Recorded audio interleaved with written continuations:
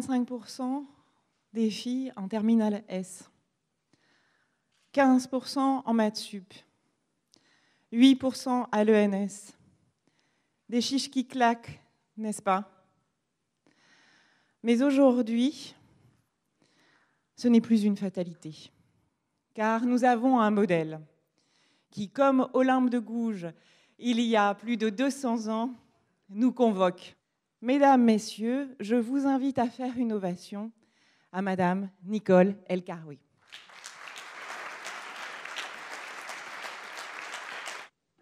Notre-Dame de Paris 6, ou la leading woman du Times Magazine, son rayonnement scientifique, son impact auprès des entreprises contribuent de longue date à la visibilité internationale de l'Université Pierre-Marie Curie, puis depuis le 1er janvier 2018 de Sorbonne Université.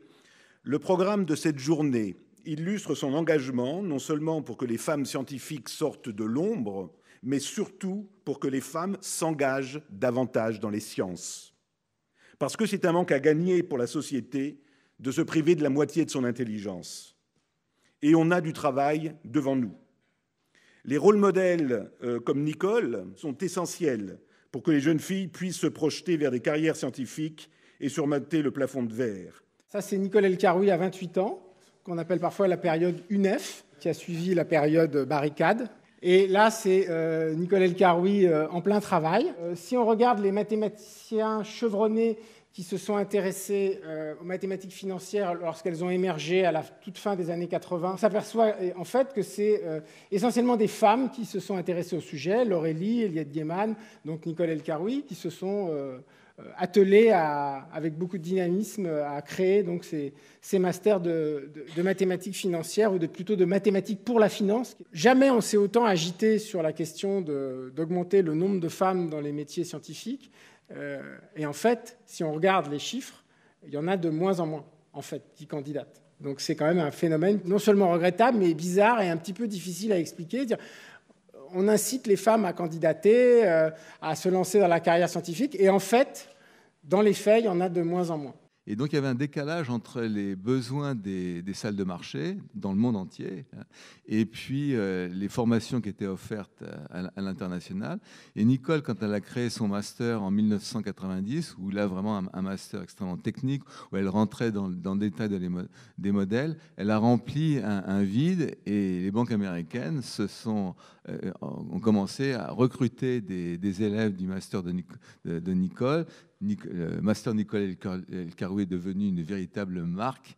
Et quand on se promène dans les salles de marché dans le monde entier, on parle français et beaucoup des, opérateurs dans les salles de marché, que ce soit aux États-Unis, en Europe ou, ailleurs, il y en a beaucoup qui sortent du, qui ont fait le master de, Nicole. Son mérite, c'est essentiellement vraiment d'exister, c'est-à-dire d'être un lieu où il y a ces, euh, étudiants qui sont intéressés par ces métiers techniques dans la finance et euh, dans lequel il y a aussi des enseignants qui ont un intérêt pour cette industrie-là et qui ont, qui ont envie d'enseigner euh, euh, le, bagage mathématique correspondant. Ce qui m'a, pour moi, Nicole, c'est quelqu'un qui a su écouter mon profil un petit peu atypique. Je me rappelle que vous m'avez accueilli chez vous pour que je fasse mon pitch, parce que c'est vrai que je ne collais pas dans, dans le profil usuel. J'ai aussi quelqu'un qui crée beaucoup de liens évidemment du lien entre euh, le professeur et l'étudiant, du lien entre le professionnel et l'académique, et euh, évidemment du lien entre les mathématiques et la finance.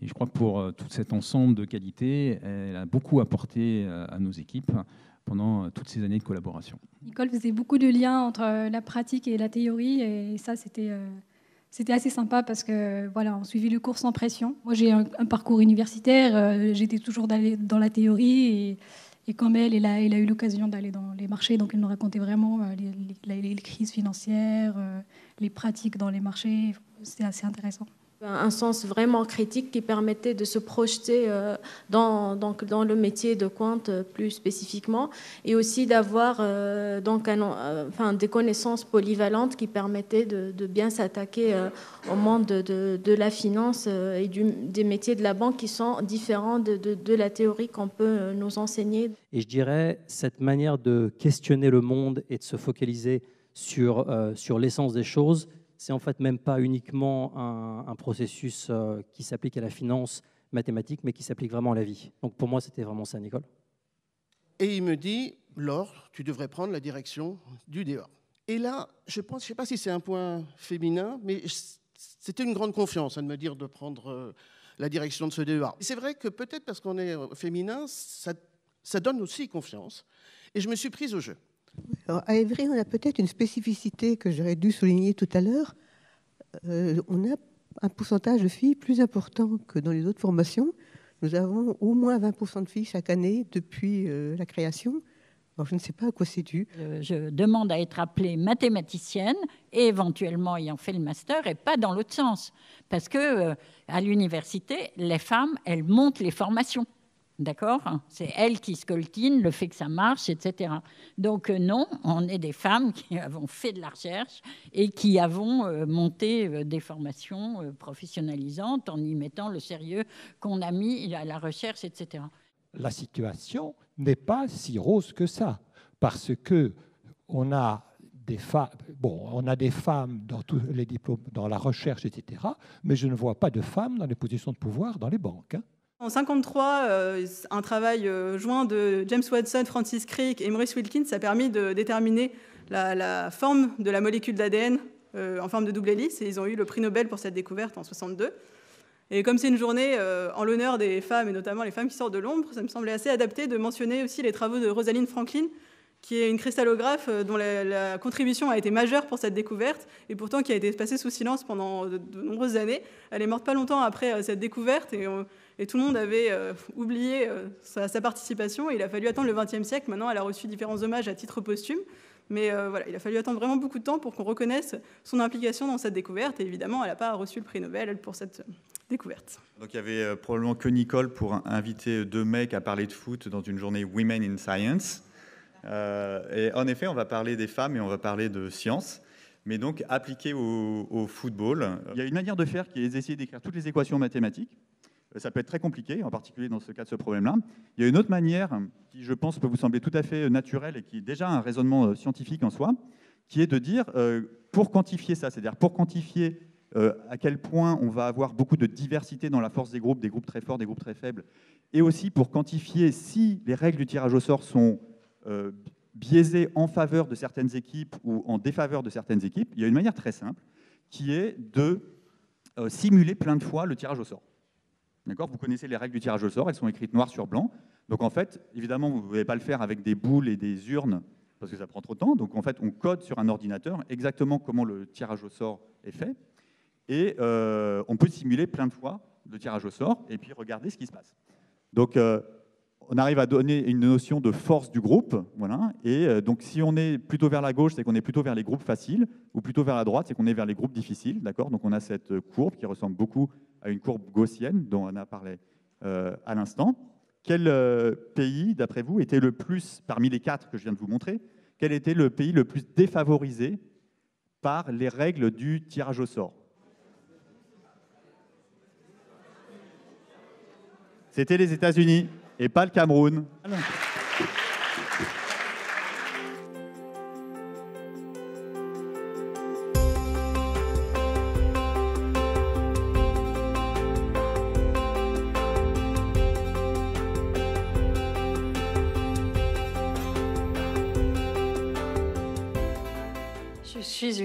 mathématicienne de l'aléa des phénomènes en mouvement, une espèce assez rare dans la nature. En fait, j'avais été fascinée par une simple phrase proposée par Kolmogorov en 1933 et qui disait en quelques mots Le hasard, ça se mesure. En fait, on pouvait démontrer que tout était probabilisable. Et donc le hasard n'était plus cette chose très mystérieuse, reliée dans l'esprit des gens à une intervention divine. Ça pouvait être en fait tout et n'importe quoi, du moment qu'on avait pris une certaine distance dans la représentation des choses. Le hasard est constitutif de toute vie et que c'est cet étonnement devant euh, le hasard qui a une puissance d'innovation extraordinaire que j'ai pu tester en fait avec émerveillement à la naissance de chacun de mes cinq enfants. Euh, je vais vous parler un peu de mes travaux avec un titre euh, un peu pompeux, Machine Learning en grande dimension pour euh, la médecine de précision. Euh, alors qu'est-ce que c'est le machine learning? Déjà en français, ça s'appelle l'apprentissage automatique ou l'apprentissage statistique.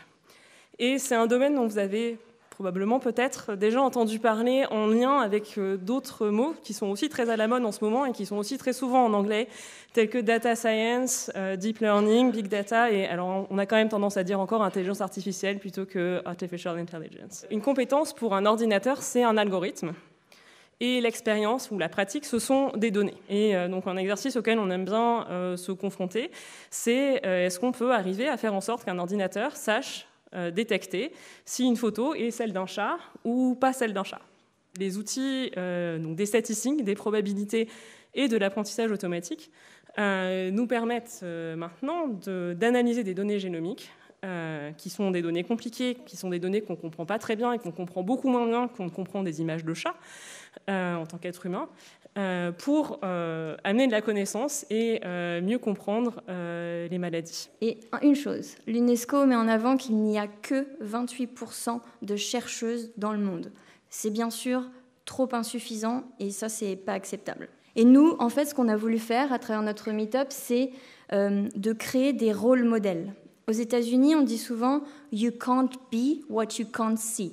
Tu ne peux pas être ce que tu ne vois pas. Et donc, nous, notre boulot, bah, c'est de mettre en lumière des femmes qui travaillent dans ce domaine-là. Et en fait, 50% des femmes qui viennent parler à nos événements n'ont jamais pris la parole en public.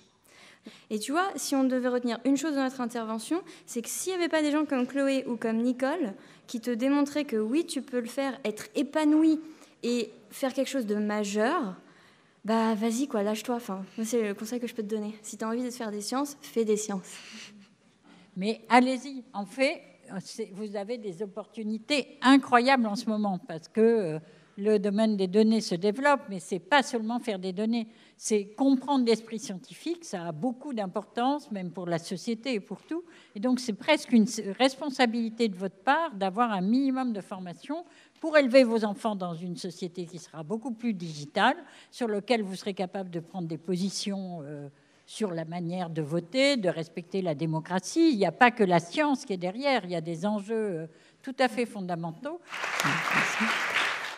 I'm going to talk about something less mysterious than Nicole, and that is simple and it can be understood, and that's quantum technology. Most of people living in the theory of computer science don't know anymore what is Turing machine, but everything is started with Turing machine, with the simple instruction that is started to build, put together, technology exploded. We managed to have a little computer, a little Turing machine in our phone, and ev everything started with that. But we have such a huge capacity of computation and such a huge capacity that we can start asking new questions that we would not ask before.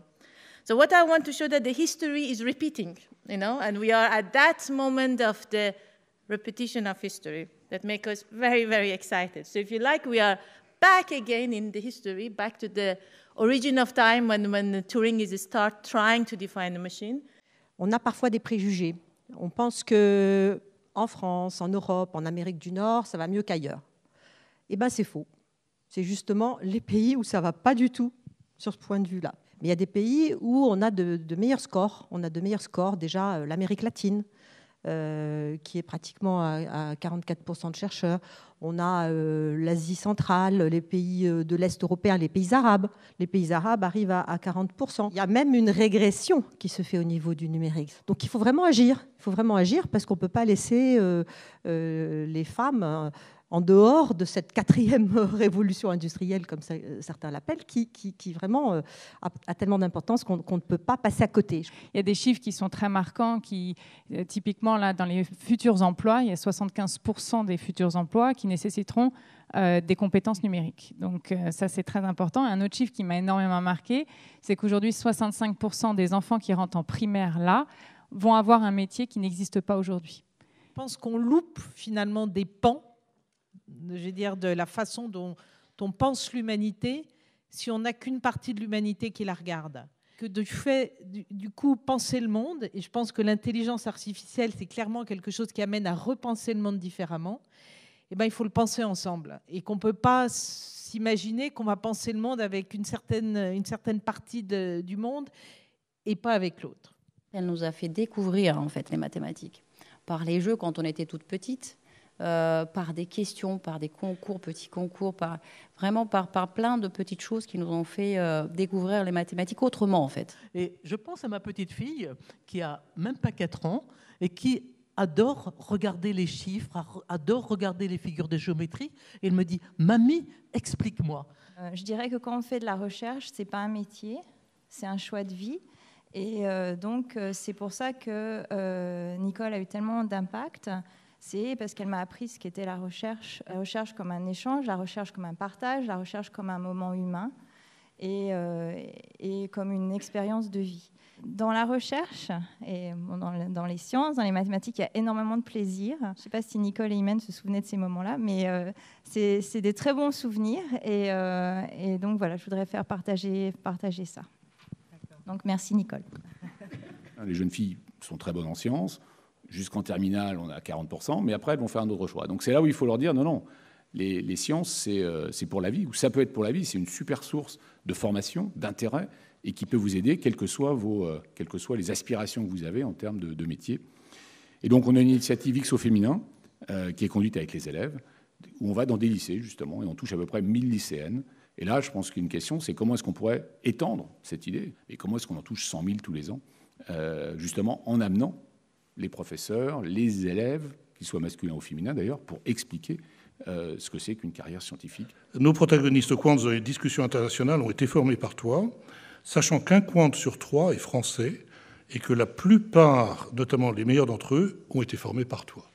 Il y a une école française des quants euh, que l'on voit à New York, que l'on voit à Londres, que l'on voit à Zurich, que l'on voit à Francfort, et tout ceci, euh, c'est ton œuvre. Que vaudrait la réputation de la place de Paris sans ta réputation intellectuelle et morale? Tu en es une part essentielle et ta réputation rejaillit sur nous. J'espère que euh, tous ceux qui ont suivi tes enseignements euh, te seront dignes de ce que tu leur as transmis. En même temps, tu as démontré que dans une université en crise, l'université est en crise, la passion du savoir, la qualité, l'indépendance, ainsi que le souci des étudiants pouvaient transformer du plomb en or, les fameuses pommes d'or et faire à nouveau rayonner l'université française dans le monde. Pour tout cela, ma chère Nicole, nous devons te dire merci. grâce à elle, l'Institut Louis Bachelier a conservé son enracinement dans les mathématiques, tout en élargissant son domaine de recherche au-delà de la finance, à la démographie, au climat, à l'énergie et à l'informatique. Dans toutes ces activités, Nicole apporte sa vision personnelle et originale celle d'une mathématicienne probabiliste de très haut niveau, mais qui est complètement ouverte au reste du monde, qu'il s'agisse des entreprises, des autres, domaines, scientifiques, des autres institutions où elle, où elle exerce euh, ses talents, avec toujours un sens de la bonne question, la question qui dérange et la question qui ouvre surtout des horizons inattendus. C'est pour toutes ces raisons que le grand chancelier de la Légion d'honneur a décidé de la nommer officier de la Légion d'honneur, décoration que je vais maintenant te remettre si tu veux bien. Au nom du président de la République et en vertu des pouvoirs qui nous sont, conférés, nous vous nommons, pardon, officier de la Légion d'honneur. Voilà, cette fois-ci.